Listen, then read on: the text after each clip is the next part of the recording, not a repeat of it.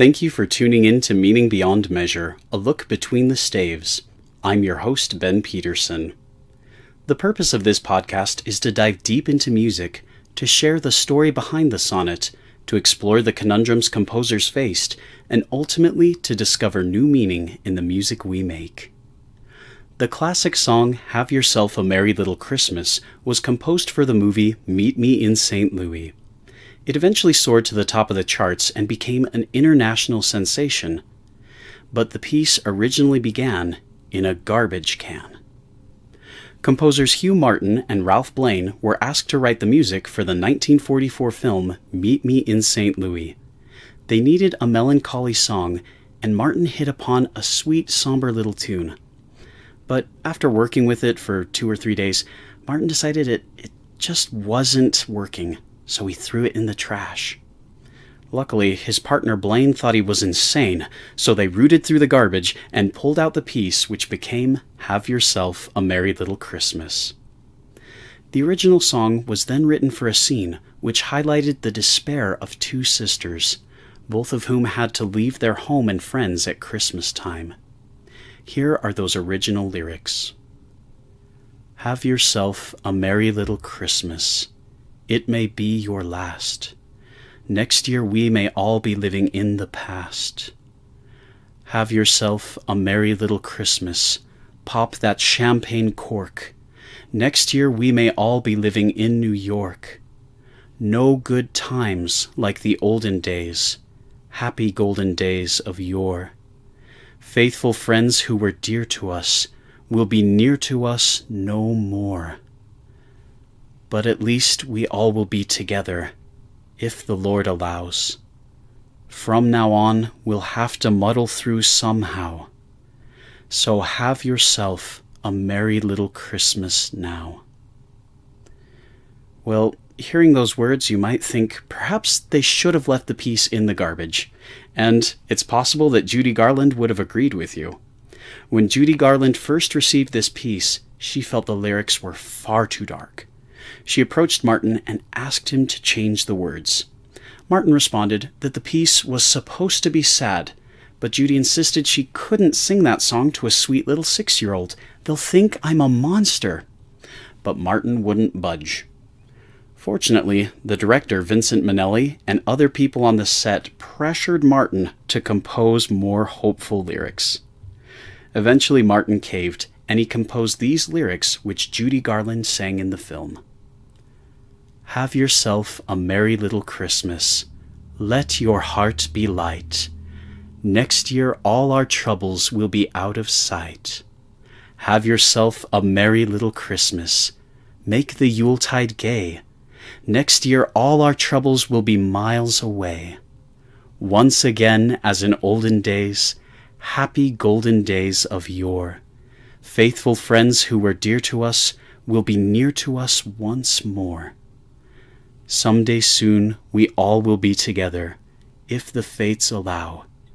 Until then, we'll have to muddle through somehow. So have yourself a merry little Christmas now. These tender, revised lyrics struck a chord with the nation. Just as she'd done for years, Judy Garland sang for the servicemen and women at the Hollywood Canteen. But that night, when she went there to sing Have Yourself a Merry Little Christmas, there wasn't a dry eye in the room. Soldiers fighting in World War II found hope even as they were miles away. Families at home yearned for faithful friends to be near to them once more. But before those golden days, all would have to muddle through somehow. But hope for the future allowed many of them to have a merry little Christmas now. In 1944, Decca Records released a single of Judy Garland singing Have Yourself a Merry Little Christmas. And it didn't just become a hit, it also proved to be prophetic. The next year, troubles were out of sight for many because in 1945, World War II ended. Although Judy Garland performed this Christmas ballad regularly, Have Yourself a Merry Little Christmas quickly faded from memory. Well, that is until 1957 when Frank Sinatra selected the piece for his Christmas album. Sinatra reached out to the composer Hugh Martin and asked him to revise the line, Until then we'll have to muddle through somehow. Sinatra said, quote, The name of my album is A Jolly Christmas. Do you think you could jolly up that line for me? So Martin changed the line to Hang a Shining Star Upon the Highest Bough. The reworked lyrics and Sinatra's singing helped revitalize the song. Since then, multiple renditions of Have Yourself a Merry Little Christmas have appeared, including Have Yourself a Blessed Little Christmas, a rewrite Martin did to focus on the religious aspects of Christmas. Now, Have Yourself a Merry Little Christmas has stood the test of time, and that's perhaps in part because of its bittersweet melody.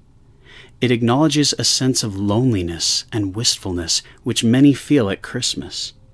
But just as Hugh Martin rewrote this Christmas song, each of us has the chance to rewrite our Christmas season. Surely there are struggles we must muddle through somehow. But golden days need not be a thing of the past. Our present may be golden. The promise of Christmas is because Christ was born, one day our troubles will be out of sight. With that hope in the future, I hope that you'll find the strength to have yourself a merry little Christmas now. I'm Ben Peterson. Thanks for discovering with me this Meaning Beyond Measure. This particular episode of Meaning Beyond Measure is dedicated to my friend Austin Kennedy. Austin Kennedy is one of the most positive and encouraging individuals you could ever hope to meet. I was lucky to meet him in choir, and we made amazing music together. But as wonderful as he, his voice and his music were, I was even more touched by his courage and his strength. Everyone around him just comes away feeling better. And unfortunately, Austin and his family have been muddling through a very difficult time this year. They discovered that Austin has cancer all throughout his body, and especially around his spinal cord. Um, it's been a very difficult time, but for me, Austin exemplifies the message behind this piece, just as the piece was rewritten again and again to become more positive and more encouraging. Austin has a gift to rewrite his attitude and his outlook on life in what is and should be a hard and difficult thing, Austin chooses to focus on the positive and to bring light and joy to all those around him. So, thank you, Austin, for being a good friend and a great example. You're awesome, Austin. Um, to my friends and listeners, I'd encourage you to help Austin and his family if you can. I'm providing a link below so that you can make small donations so that their Christmas can also be merry and bright. Thank you for your support. Thank you for listening. I hope that you will have a Merry Christmas here and now.